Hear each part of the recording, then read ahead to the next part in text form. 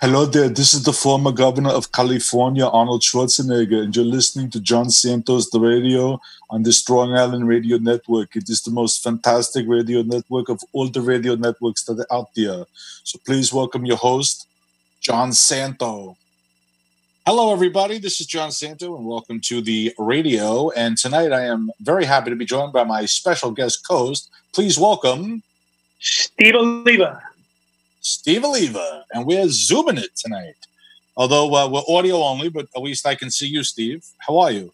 Good, buddy. Good. I um, yeah, this is my first time using Zoom as well. So through uh, Strong Island TV, so through my phone. So um, I'm glad you can see me, buddy. Yeah, I can see you. I'm on the phone too. Uh, it looks like everybody's using Zoom these days to uh, to do their shows because even though I don't live far from the studio, I can't go into the studio. Can't infect Bobby. You know, it's interesting because I actually I was having such a hard time technologically wise because mm-hmm. everybody's doing it. I says, let me let me go see if I can buy a webcam. And they they looked at me, not looked at me on the phone. They were like, "Oh, what a webcam!" like, like it was, it was almost like you know I was looking I was asking them for a uh, like a Sony Betamax from like '81, you know. and the and the Betamax was the better system too. It's amazing that the VHS. Is that right? I thought so. Yeah, the Beta was a better, uh, clearer picture. But I mean, uh, they're all garbage by today's standards. Why didn't it catch on? I think because VHS became like everywhere, and it's just like with the PC. Like the Mac is, I think, the better machine but because they licensed it and they and they sold them cheaper and they got you know everybody started making PCs, they became so you you would see like ten VHSs for every one two Betamax machines. Yeah, that's true. You know? and then the yeah. format, you know, like who who has the um, the tapes? You know, like who's the most um, the most prevalent with the number of tapes? So that became the uh, the thing. I look at but, it like the um, you know there are certain technologies as far as that goes that that in between then when that came out now that oh yeah. really were just like uh, just came and went. They did not catch on. Like i'm just thinking of like i mean i'm not you're a laser disc? The laser, laser disc? disc yes. What were the big blue ones? They were were they blu-ray discs? Were that blu-ray's still around. Blu-ray's still yeah. maybe it's the laser disc i'm thinking of but they were they were they were like big, the size of an lp another technology yeah. that yeah. Right, right, right, right.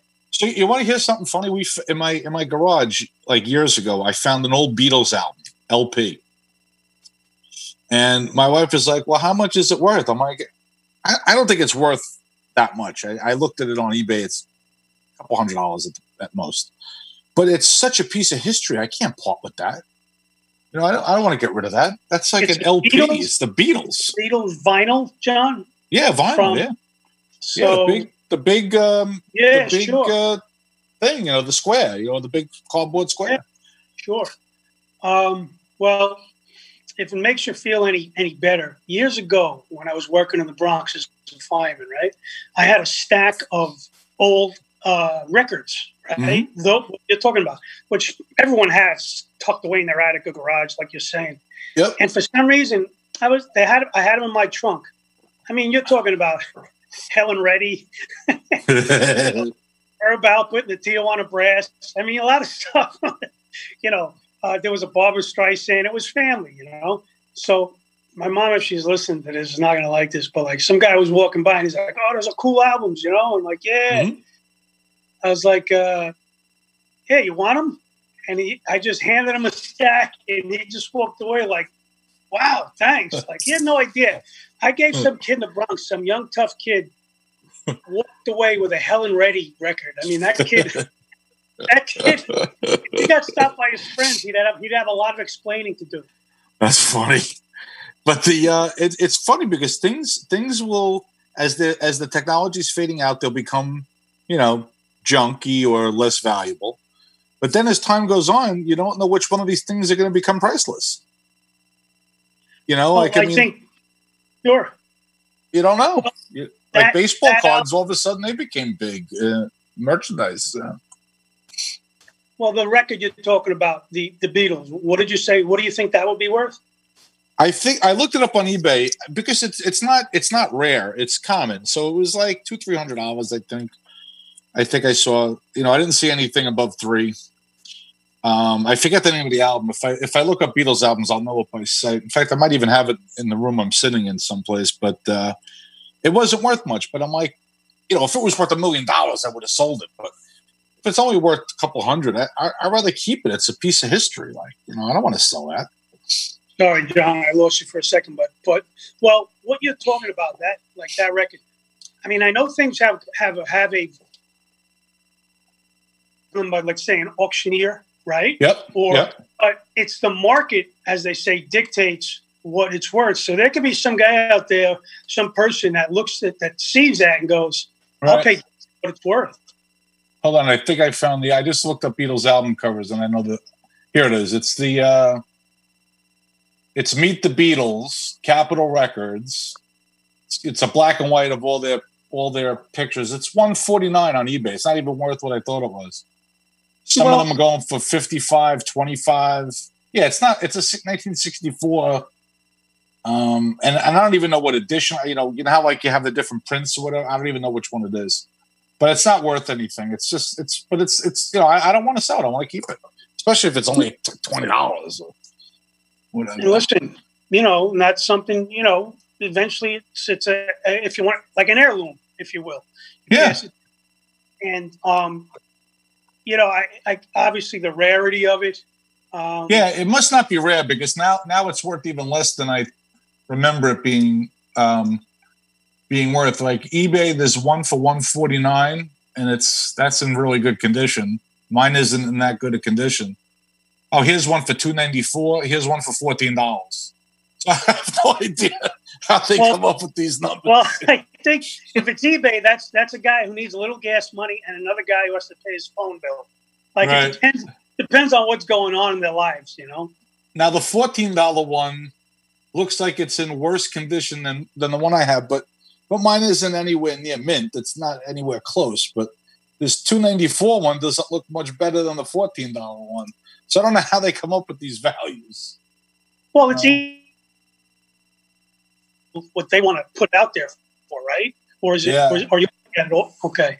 You know what's funny? The Beatles. I was never a fan, and I know there's people who are watching who may post that uh, you know how could you not be a Beatles fan?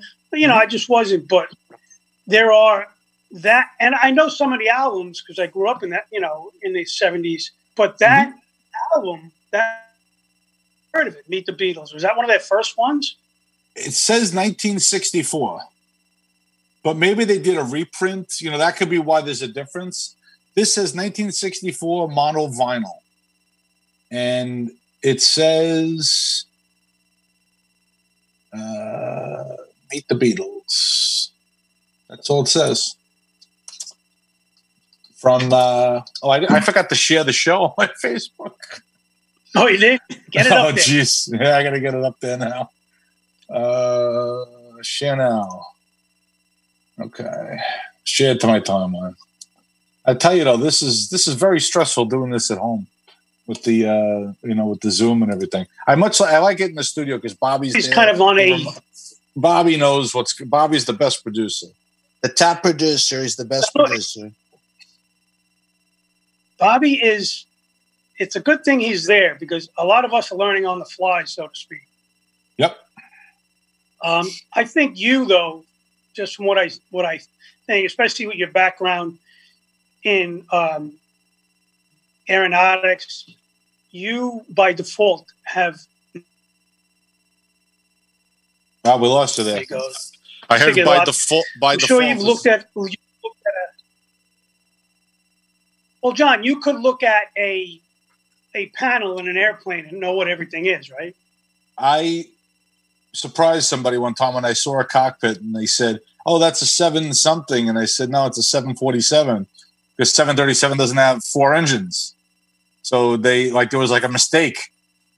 Um, it's I'll tell you a funny story. I was at the airport in uh, Florida, and I saw a. Um, I was coming back from 2015. I'm coming back from spring training back then, uh, left to saves lives. and I'm at the airport, and a guy said to me, he goes, "Oh, that's a 737." I said, "No, that's an Airbus." And he said, "That's a 737." I'm like, "It's an A320. It says Airbus right on the side." So he goes, he goes, "That's a 730." he goes, "That's a 737." And I, you know, the engines are different, the cockpit's different, you know, the the outside totally different. Plus, it says Airbus. And I said, If that's a 737, then I'm Donald Trump. you know. so it was an Airbus, you know. It's like Well, it says Airbus on the front. Yeah, but I could have figured out the Airbus, but you knew what make it was or what model. If I don't know, I don't know what they call airplanes, but Yeah, it's like a make a model for a car. It's like an Airbus, you know, A320, and then there's like different variants of of that. Um, but it was I knew it wasn't a 737 because the 737 has different engines, different cockpit, all that stuff. mm, see, you know, that's uh, that's a, uh, a knowledgeable person looking at it. I would be like that guy. I would. I would love to-. I would love to be like Mike Francesa and say, first of all, America doesn't have the 737 800. They don't have it. They don't have it. Would- that's Well, how yeah. he would be.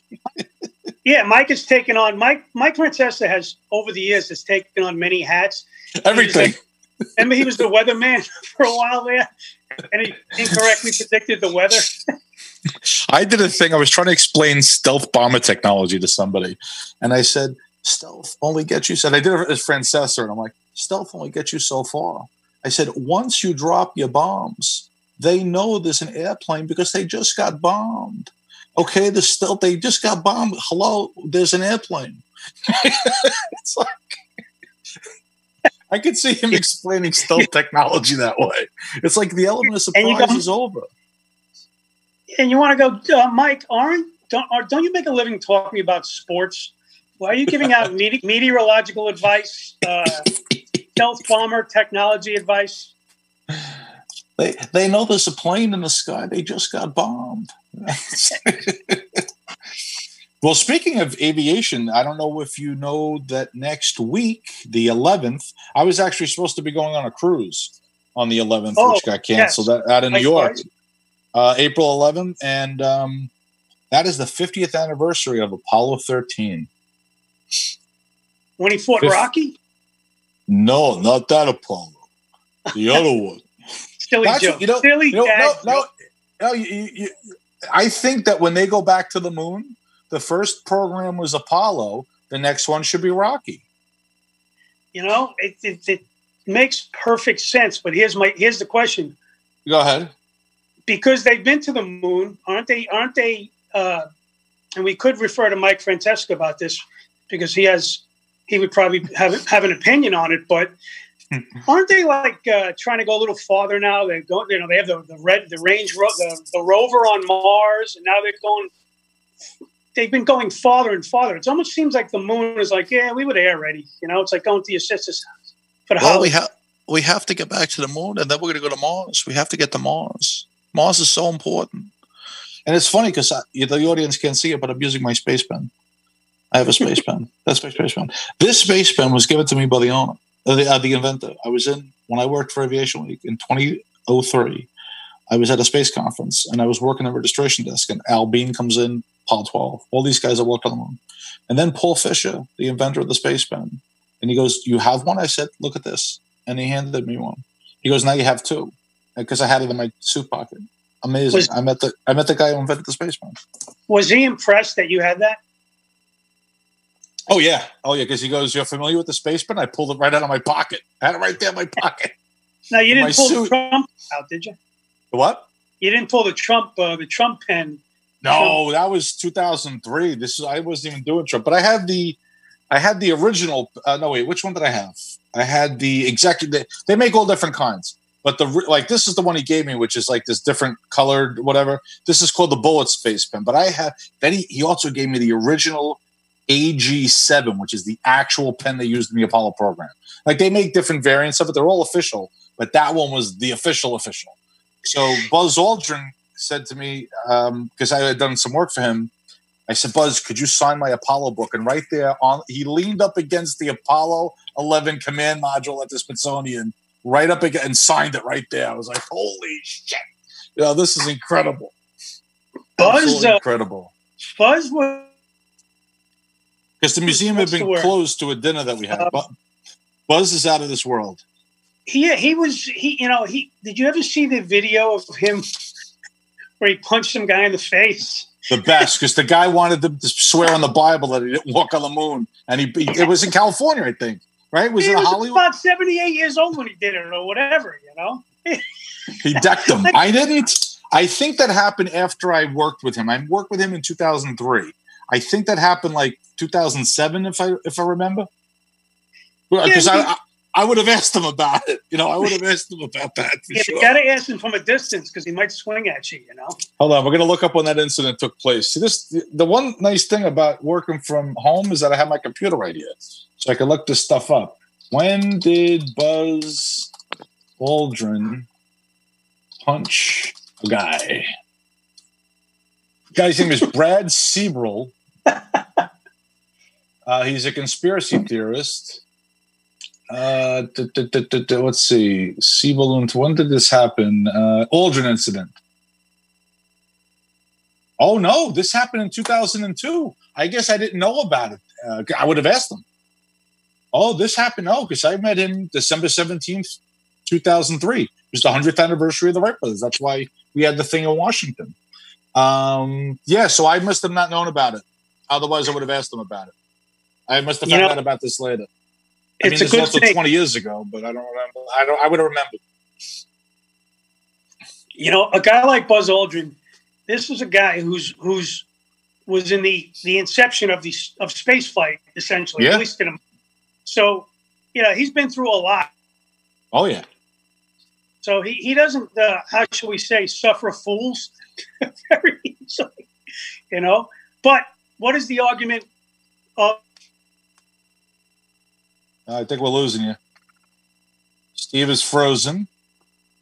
We don't hear Steve. So I will tell a quick Buzz Aldrin story while we try to get Steve back. Like oh, that? he's co- he's coming back in and out. You you were in and out for a second. I'll tell you I'll tell you this story about Buzz Steve. He he was the guy that came up with the idea to train in a pool to simulate weightlessness. Is that right? So yeah, so when they assemble stuff like outside the spacecraft when these guys are spacewalking, he came up with that idea. So Train in a pool. you know, when I think of that, you know what I think right away? The uh, like the Navy SEAL training. Those guys have to do all that upside down. Yeah. In a, talk about disorienting. If you Oh can yeah. function in those uh, conditions, that's a that's a big test of you. You know, because it's all this. You ever see an Officer and a Gentleman when they fly them into the pool uh, to simulate going off the going off the deck of a carrier? I think And we lost. Steve is in and out. I'm in and out again. I'm like Buzz Aldrin in and out of that pool. I mean, In what is out. in and out? But I hope I'm back. Am I back? Now we got you. It's like it's like you freeze for a second. But you know what's nice about doing this on Zoom, the show, is that all the shows are doing this now. So my show is just as good of a production quality as all of the other shows that are in Hollywood and, and in the main media. Well, on top of it, they you know they have a big production uh, budget than than you and I do, and uh, look look we're, we're pulling it off. You're pulling it off.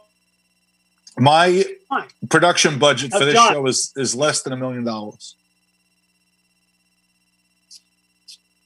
Oh, we lost Steve again. for for president.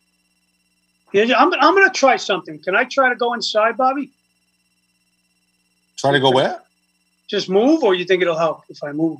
I think you got to be close to whatever your router you're using with the Wi-Fi. Are you on a cellular phone network or the Wi-Fi? Cellular phone network. Oh, you got to be on the Wi-Fi. That's why. Cellular Oh, I don't have- sucks. You don't I- have Wi-Fi? I don't have Wi-Fi. Um, Ah, I- that's why Stevie's so choppy. Maybe you got to go outside. you know, I'm going to go outside. I thought he was on a Wi-Fi, folks. Yeah, my, my outside. The budget for my show is under ten million dollars, under a million dollars production cost. Yeah, we had the same problem last week with the uh, we we did a cell phone only call last week, and it's just terrible. I can't wait. In the studio, we have flawless sound. We have beautiful microphones. We don't have any technical issues in the studio. But um, sorry about that, folks. We're going to get Steve back as soon as we can. I could see him walking outside. but it's just a very uh, Bobby. He's on a cellular network. He's not on Wi-Fi. Hey, Bobby, look where I am outside. This is kind Oh of my creepy. god. Now it's better, way better sound. Really? My neighbors are going to, like, you know, they very rarely see me. So when they see me now, they see Just me keep- now Can you walking safely, talking. can you safely maintain six feet from everybody while you're outside? My neighbors main, have been. My neighbors have been maintaining six feet for a long time from me. Well, they're going to hear you talking to yourself, so they're probably going to say, "Let me stay away from this guy." Yeah, it won't, it won't be the first time, you know. So you know what I thought of uh, with this whole thing that's going on with Major League Baseball shutdown is that right now this is the first time in history that in April my batting average is the same as every major league player. Well, John, first of all, Zero zero zero. I bet every major league player does not have your extensive array of, uh, of Met hats.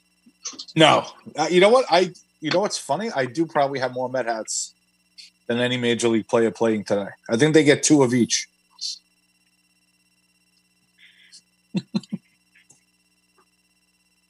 Steve is uh, coming in and out again. I don't know. You know why? Hold on. Steve doesn't have Hold on. Wi-Fi, Bobby. Who doesn't have Wi-Fi? I, I could probably get Steve some.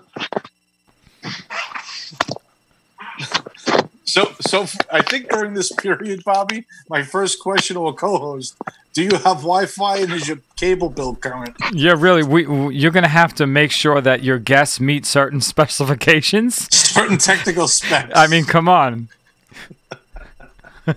People in Africa have Wi-Fi.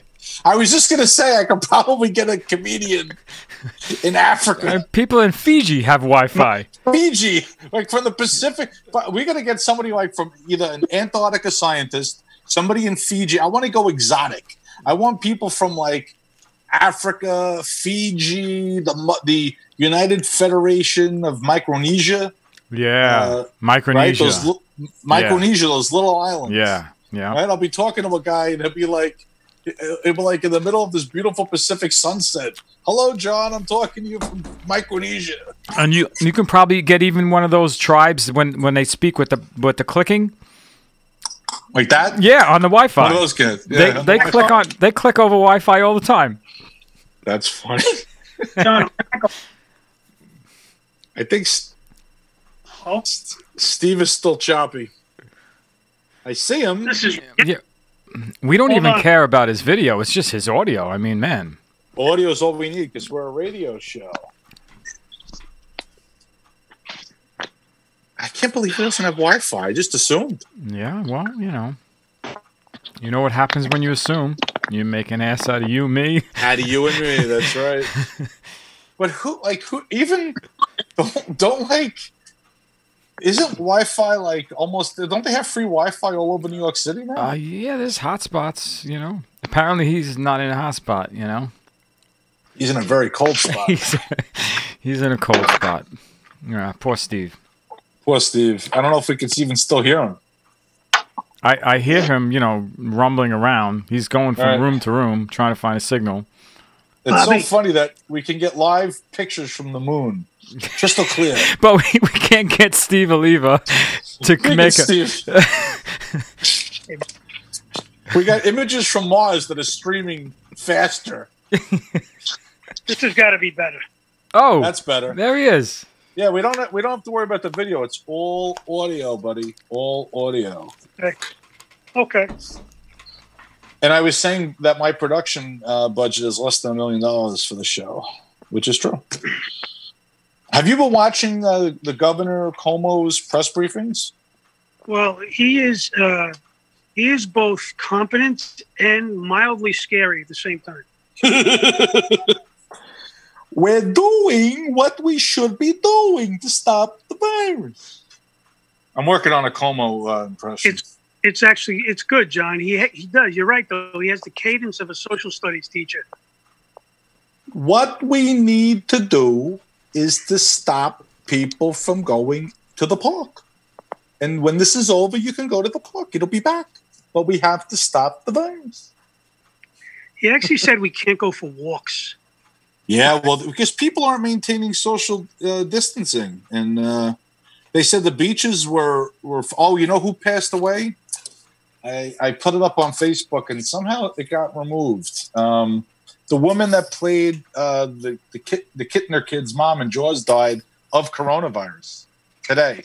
She was ninety one. You know, that is. I mean, clearly she was in a in a uh, the vulnerable age age range, Right. but um, that that is for anybody who grew up and watched that movie, and you know, kids are watching it today. That's Sure. very um, I don't know what the word is. That's very like sobering in a sense because she only had one scene, but everybody remembers it. Right. And it, was Lee Fierro. She was 91. She passed away in Ohio uh, today. But here's what's what's weird about it. The, the the governor of Florida wouldn't close the beaches for those spring breakers, and they say that that helps spread the virus. So ironically, she died in real life because they wouldn't close the beaches. Wow, that's some irony right there. It's irony. It's very ironic. Um, You think she, if she went to the beach, she should have went up and smacked all those She should have smacked. Well, I was going to say she's not here to smack the governor of Florida for not. cl- you knew that people could get sick. Right. He straightened out Chief Brody. She could straighten them out. You know, you know what's amazing about Chief Brody? Like, you know, Roy Scheider was in um, Jaws, and nobody listened to him. Like, is it that hard to believe that it was a shark? Like, I don't understand why it's so hard to believe. Like, oh, I didn't see the tooth. That doesn't look like a shark. Why don't you just assume it's a shark? Like, 'cause it's not a boating accident. And and in the movie 2010, when Jupiter was going to explode, they didn't listen to him then either. It's like, why don't you just listen to Roy Scheider? Roy Scheider knows. Well, I think you know what it is, and and this everything that predates the internet, excuse me, uh, Twitter, social media was handled Right. so differently because you were dealing with a such an unknown, which very much like what's going on now with this thing. It's almost an Yeah. invisible. So Right. you would deal with the fear as opposed to being able to, let's say, like you can track sharks. They have, a, you know, that that uh, that app where you can actually track sharks. You know, and because they, they tag them all, and you can see how they go up and down the east coast line from Florida, Yeah, Carolina. they do. They do tag quite a few of them too. Yeah. Yeah, I mean, you, they wouldn't have had to gone through all that, where you know uh, uh, Brody had to get the uh, the oxygen tank right in his mouth and, and nail him with that with that gunshot. They wouldn't have had to go through all of that. If they would have remade Jaws, right? I I would have made like Al Pacino, uh, uh, Matt Hooper, and say this was no boating accident. This was a shark. You know, that would have. and, and Schwarzenegger could have played uh, the chief. Be like, "Smile, you son of a bitch," and then he would have like fired a bazooka. You know, he would have had a bazooka to shoot the shark. Uh. Who would have who would have played? Yeah, it would have been it would have been a two minute movie, one Yeah. sided. Uh, well, who would have played? Um, was it uh, Richard Dreyfuss? Well, I would have been Pacino. Oh no, not him. no- No, Oh, the oh, chief, oh. the chief who met the untimely demise in the uh, in the mouth of the shark when he slid down the. the Oh, oh, Quint, Uh, Quint for the, the boat. The Quint, yeah, that Yes. would have been. Um, that could have been. Um, who would have played a good Quint? That could have been like uh, Sean De Niro. Ma- Oh, maybe. Uh, uh, yeah, well, De Niro. Maybe it's like this shark. He's bad. I want fifty thousand for me by myself. How about Tony Yeah. Soprano? I'll If give he- you the head, the tail, the whole damn thing. Oh, yeah, give. I'll give you the freaking head, the tail, the whole mother effing thing. You know, it was funny if it was Tony Soprano, John, like that. hi- Yeah. Everybody in the neighborhood would have get had shark steaks for the next twenty years. you know what I mean? Mitch, Mrs. Bachigaloop, he would have been showing up every day. Christopher, go get how how would Christopher give the shark steaks to to a lady on the street? chop them up at Satriale's. All right, let's chop them up. That's You know, funny. As, as classic as that movie was, hmm anybody listening to you right now, if you made it to like Jaws three, you you never saw such a demise of a movie as you did from one and two, which were great. I think three Yeah, was two, two, two was good. was three to three D one. Two Yeah, was great. Three, yeah, three, three was three D. And two, the shark he, he got electrocuted with the with the the cable. Yeah, it still had the fear. It still held the fear factor. The other, you know who? Um, right, so, and then four had Michael Caine. I was in Jaws 4, and Jaws 4 was horrible because in Jaws 4, the shark followed Mrs. Brody all the way down to the Caribbean and even knew her bloody flight number. The shark. You know, Like, how did, how did the shark know they were in the Caribbean? I don't know. like, it's really, uh, it's, it's, it, you, as I heard the term in the past or the phrase, you suspend your like imagination, suspend reality because, Right. you know, just the fact that it would follow him that far is a little unbelievable. But I think it's less believable that Michael Caine took the part, the lead in that film. I couldn't believe it. I don't. it was the worst mistake of my life. I thought I should have been in this film three movies ago. John, you got to think about it though. In the acting world, he went from you know, I'm sure doing some sort of British theater or Shakespeare to you know chasing, chasing a fictional shark down to the Florida Keys or wherever he was. And then he was the- then he got some really good parts. He was he was uh, he was in that uh, spy movie with Pierce Brosnan, uh, the Fourth Protocol, I think, which came out around the same time. So he had some good Well- parts. Oh no, no, Michael Caine, great parts. He's a superb actor, but you know the, the, the interesting thing about acting, if you look at IMDb, Mhm. you will like your favorite actor who's in a, who's in a a memorable uh, movie or a part on TV, and then if you follow his career, even Mhm. afterward, they've done they've done some real, you know, some some. I mean, geez, the great Erik Estrada is selling uh, uh, reverse mortgages. I mean, come on now. and he had the best teeth. When I tuned in the CHiPs and you saw him smiling on the bike, that man's teeth, they were perfect. Listen, man, he didn't even need a flashlight. He would get out and blind people with the heat. His teeth were impeccable. They were Yeah, perfect man. teeth. Yeah, Erik Strada was the man in the day, man. The man. He's doing all right. You know something? Interesting movie note. I actually, this is the, he is an actual, either uh, an honorary deputy or an actual police officer. I'm not sure where. No, I think I think in the in the California Highway Patrol, they made him an honorary cop. I think from from the kiss of the show. Well, I think you're right. I think we'll have to look that up. yeah, he, um, he, I saw that not too long ago. You I'm know, it was one of those, right uh, it was even pre-coronavirus. I was surfing the internet. And I'm like, what is Erik Estrada up to now? Let's check it out. CHiPs Erik Estrada becomes real life. This is in 2016. Real life police officer. Erik Estrada doesn't, but yeah, he's actually got a picture of him next to the bike. He's a real cop. He's a real cop. You know, he's obviously, I mean, he's got to go through the training. Let me Um, see. Let me see if he's got a gun. I don't know if he's got a gun. Let's see. Yeah, uh, I can't tell. It looks like he's. I can't tell if it's a gun or not. But he's got uh, the belt. I can't tell in this picture if he's got a. Uh, he's on a Harley Davidson. Looks like a police bike, a white bike. He probably has teeth whitener in that belt. He's got the teeth are perfect. They're still perfect. when I go back to my dentist, he goes, "How do you want your teeth to look?" I go, "You know, Erik Estrada." I go, "Give me Erik Estrada from '77." Are you Are you familiar with the um, where the airplane movies came from? Let me s- Hold, hold on one second. Keep keep going. You- ever see the movie Airplane, like the comedy? Oh, of course, classic. Hold on, I gotta show you this. All right, I'm back. So, Airplane, the comedy, um, started from the movie Airport 1975. Yes. There are there are more references to the movie Airplane, like where they got everything from, than any other movie. And why do I bring that up? Because Erik Estrada was the flight engineer on the ill-fated 747, and uh, everything from Airplane, the sick girl, the nun with the guitar, all of that came from Airport 1975. The bomb, was that the, because the what? was that was that because it was the same director, or they just kind of took the whole every Well, cliche at that? there were four airport movies. George Kennedy is the only actor to appear in all four. There was Airport, just it was just called Airport. That was Burt Lancaster, Dean Martin, and Glenn Ford.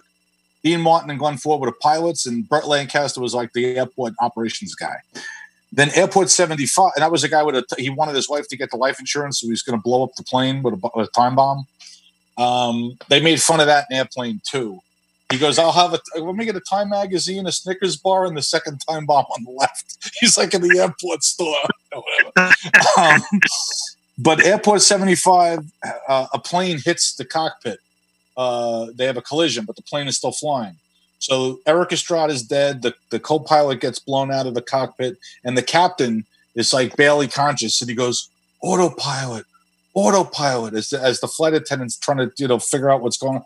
That they did that in airplane when when Peter Graves goes unconscious. He's like autopilot, autopilot, and then this comes up. I have the the audience can't see, but I got the little out of the autopilot balloon. you know? So it was a subtle, uh, a subtle uh, uh, mocking in a sense, you know, making fun of Yeah. him a little bit. Yeah, I picked that. Well, it, they, they're mocking all of those, and then there was another one, Airport seventy seven. The plane crashed underwater, and they were all alive under the water. And then Airport seventy nine was the Concorde. So there, there were four airport movies, and Airplane makes fun of them um, in some way. You know, that's how they got the spoof for Airplane. So, so was O.J. Simpson in in that in in air? He was in O.J. Simpson was in airplane, right? no, that was Kareem Abdul Jabbar. No, no, I know, but O.J. Oh, Simpson Naked was Gun. No, no, Na- Naked Gun. He's the Naked That's Gun. what I'm thinking of. Yeah. because O.J. Simpson was in the the Towering Inferno. I believe he played a fireman, and I remember yes, I yes, he remember was a that they- fireman. they moved they put him in one of those movies as well, and it was Naked Gun, right? That's what I'm thinking of. Naked And Leslie Gun. Nielsen was Leslie Nielsen He was in, in both. both? Yeah, Airplane and, and Naked Gun. Yeah. Yeah. Wow, That was- Erik Estrada is 71. Holy cow. Jeez, now I know I'm old. If Erik Estrada is 71. Well, he's I guess he's selling himself reverse mortgages now. Thank you, brother. Oh, that's funny. The, um, John, you know what I was thinking of? Can we talk about well- the Mets for a second for any Mets Of- fans out there? yeah, of course. Your hat reminds me. So, whenever the base, whenever the season starts or doesn't start, Right. Uh, let's hope. Let's hope we get something. Yeah. Uh-huh. were you? What, what was your thoughts on Noah Syndergaard being out for the year? Not good. I mean, I was hoping. You know, they said he, he might have had like a bounce back year, so that's terrible loss. So, did they give up Wheeler already? They, sure. yeah, they, they. He's on the Phillies now, so that Right, you know, if you would have known Noah was going to go down, you had to sign Wheeler. of know. course. But they, I, I, yeah, I don't know. I don't know what's going on there. Hopefully, they'll be able to, you know, replace those innings somehow. But we don't even know what, how much baseball we're playing here. Well, all you know- things being and this this always amazes me. Like um, the media can hype anybody, and it's very tough to live up to. Right. Yeah, but, you know, that's that's reality versus not reality. When you take a guy like I'm not going to say Noah Syndergaard. I like to talk about Matt Harvey just because he was so touted, and then he had those. And I don't know if he was losing his game a little bit, but then he had those injuries that um, I forgot the name of it, but Oh no, he had the uh, the uh, the upper thoracic outlet syndrome or something, right? Right. So then he came back and he was playing for the Angels. I think it was his last team. I don't know. Is he? I could, you know, I always say to myself, like, I wonder if he. It's a cra- sounds crazy, but I wonder if he would make it back to the Mets one day. They As like said that they, I, you know, it's funny you mention that because I saw something on one of the fan um, things on Facebook, and they said that they actually might give him a, uh, you know, does it make sense to give him a minor league contract? I don't know. you know, I look at those things like uh, I like to see it come full circle. Let him come back and maybe finish out in any capacity his career. That's Yeah. wishful. You know, that's that's a fairy tale. But I mean, who was who, other than Dwight Gooden? I don't know who was touted like him. I think the Grom, the Degrom, you know, Seaver, those are your top. Uh, Just not as flashy. Koosman. Yeah, no, not as flashy. Because they a guy a guy when I was at spring training, there was a fan telling me down there that that when Harvey would would come, uh, you know, he'd be leaving for the day or whatever. He'd like get on his phone and like a Maserati would pull up and his you know his model girlfriend would get out and then he'd hop in the car and drive away. Like he wouldn't sign autographs or anything. So, um, you know, I, I don't. I mean, like when we were down there just recently, uh, can't say enough good things about Dom Smith. He stopped and signed. You know, um, I I don't know if they if you know like you also don't know like what these guys are told because I know like somebody said it was hard to get Pete Alonso to sign anything, but I think because they're making so much money off of his signature, you know, right now. So what? it's I get it. the kid he was signing for the kids. All the kid he was they said he was signing for the kids, but it was hard to get like an adult. Like I went up to Dom Smith, he signed my ball. Uh, you know, uh, um, Guillorme signed. I got uh, Nimmo. You know, Nimmo always signs, and Well, here's the It's- cynic in me. You know, a guy's got his kid. he's got a bucket of balls and he's hiding And He's like, all right, he changes his jacket. every every second he changes his jacket and hat and has the kid go back up. Ask him again. He's well, got every nine balls. if I was walking the other way and I saw a group of kids running towards me, going the opposite direction, I followed them because, like the rats on Titanic, they seemed to know where the players were. you know, so I would just follow the kids. But you know, you know who's I ran into Tim Teufel. Like I was following a group of kids and I looked to the left. I'm like, oh my god, it's Tim Teufel, and he signed up. You know, he signed my spring training ball, which is cool. So that was. I, w- I wish I had my '86 World Series ball. That would have been phenomenal to bring. But who Well, knew? What you're t- talking about, John, is is always kind of follow the people, regardless, and any who know what they're looking at, who know where they're going, not what everybody else is doing. You got to Right. follow No, these-. So these little kids that were like eight years old and they knew they, like a whole pack of them. Well, John, then I'm going to throw this at you. You remember years ago when President Clinton was coming to a diner in Queens Yep. in the, in the early 90s? So, I, I sure do. I remember that very well. Mr. President, do you remember, Mr. President, when Yes, I do. all the people were front of the diner, thousands of them wanted to meet you, and, and a couple local kids from the neighborhood went to the other side thinking that you would be there, and there you were when nobody was. And I That's came up to you. I appreciate that. because, Because that diner has great burgers. And there's one thing I love, and that's a great burger. Well, I found it interesting you asked me for my sister's phone number as well. That was a little strange. Well, that's true. I call a lot of sisters.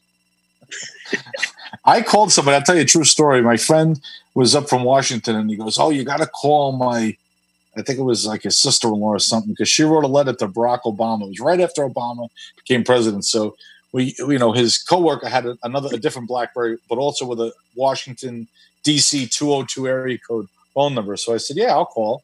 So I'm like, uh, so one person introduced the call.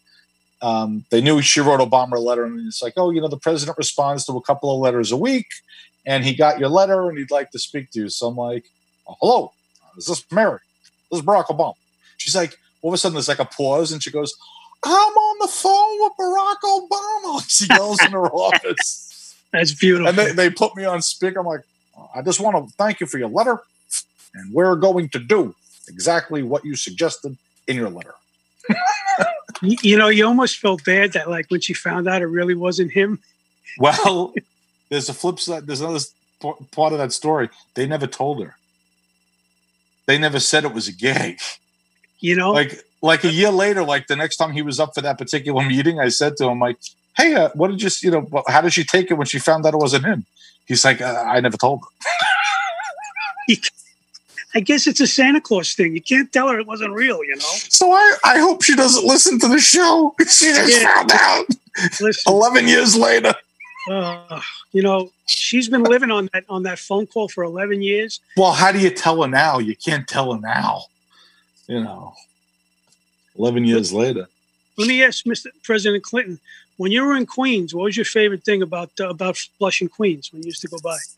Steve, I have to say that your firehouse in Queens was my favorite stop. You guys make good meals. I love fire department cooking. I love junk food. Well, you know, when the firemen used to slide the pole, you mentioned that uh, you never been in a firehouse, but you were in plenty of places where they had poles where people were jumping on. I mean, I don't know, is that true? Plenty of places that they had poles, except usually the people weren't so well dressed.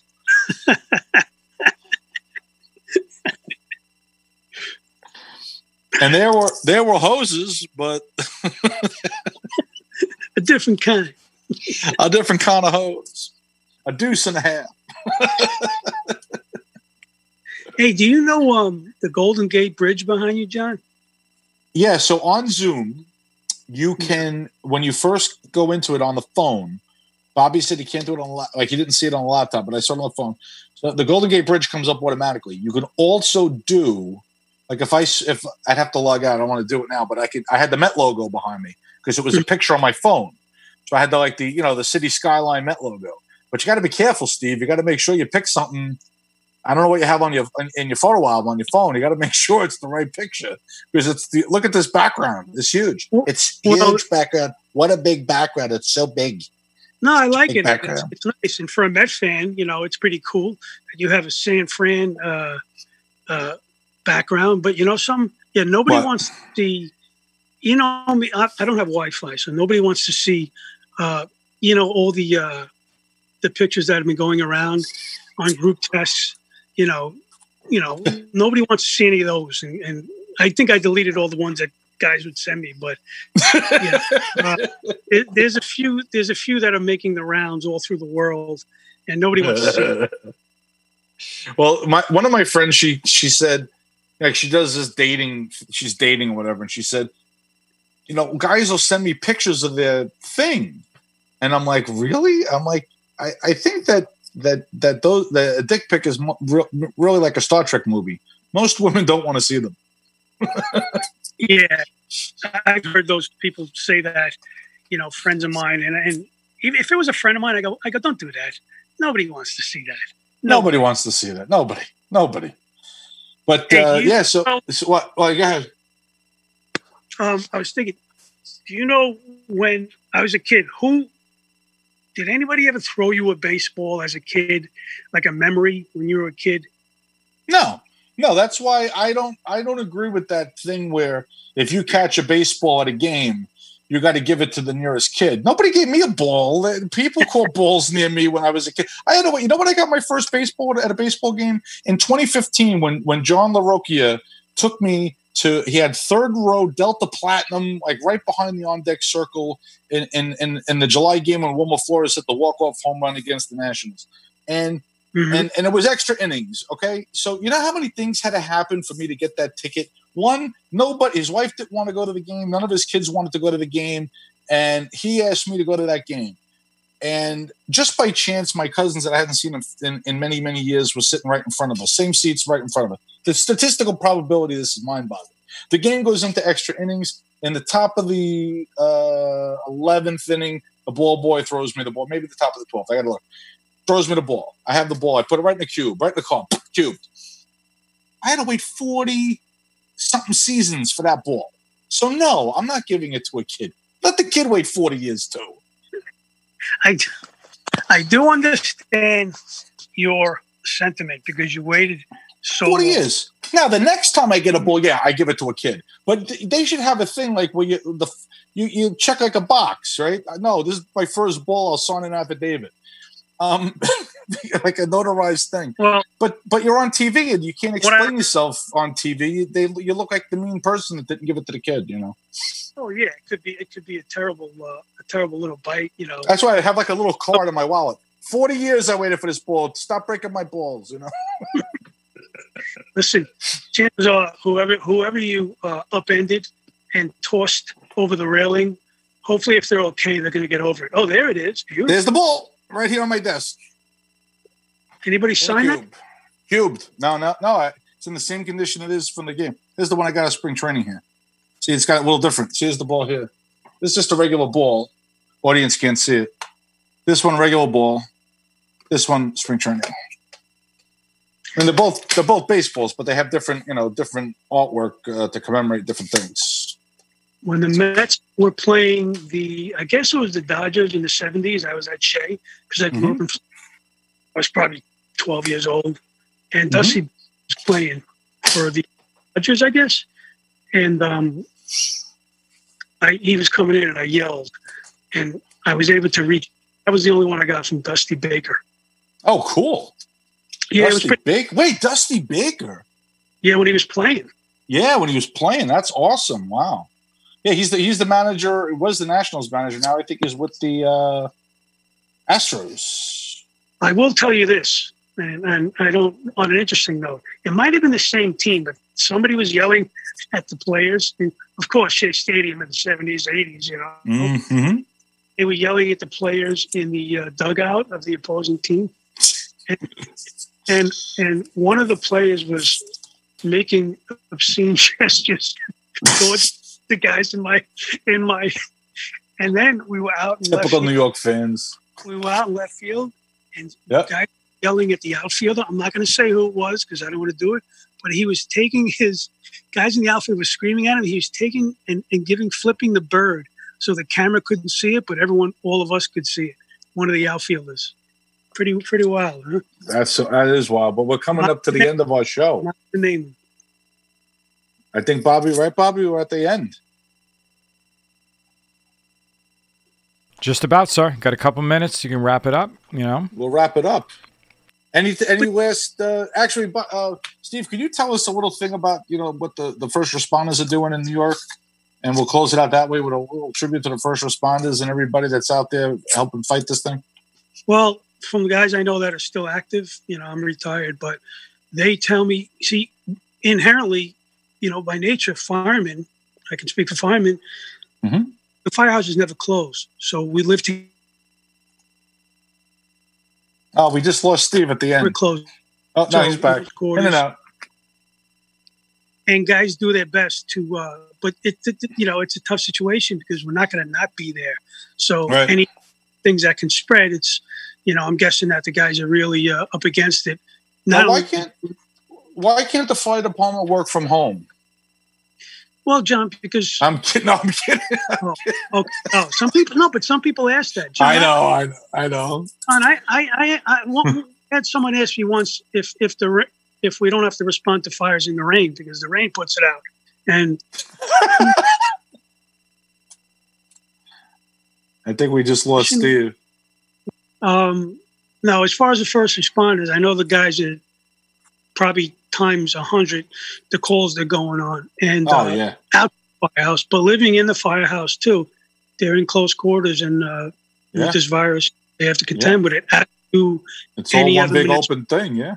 Yeah. Sure. So you know, but All right. here's the thing: every one of them wouldn't say no to do it anyway. So they're gonna. Even the volunteers are still going. You know, as a volunteer, they're all, all. It's amazing they're all going out. But at least they can. They live at home and they go to the firehouse for calls, so they they can kind of stay apart at least part of the time, unless unless they're on a call. But uh, anyway, Steve, thank you so much for for tuning in. We got to wrap it up. We're starting to lose your signal, My pleasure unfortunately. having me. And thanks to all the first responders, doctors, nurses, everybody that's out there helping to fight this, and the and the uh, the the uh, all the delivery people are still delivering you know things that people need, and all the people that are at the stores, supermarkets, and everything that um, helping people stay fed. So thank you to everybody, and stay safe. And we'll see you next week. Next week, I think we're gonna have Pat Marone as Awesome. our, uh, another Left to Saves Lives guy on the uh, as a special guest host. Thank you, uh, Mr. Producer Bobby, and. Uh, We'll see you again next week.